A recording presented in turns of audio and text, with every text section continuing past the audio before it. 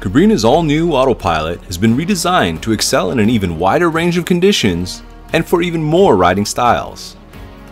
The higher volume design works together with the new convex bottom shape to displace more water and make paddling a breeze.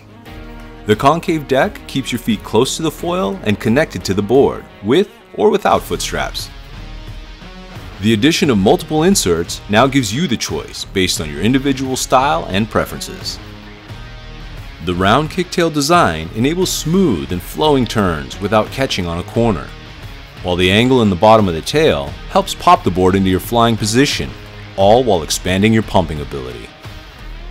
The versatility of the Autopilot is unparalleled as riders can now enjoy its unmatched crossover potential as a prone surfboard, wingboard, and even a kite foil board.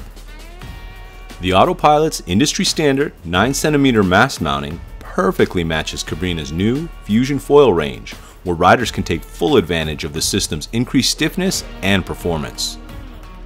For more information on the new Autopilot or any of our products, please visit us at Cabrinha.com.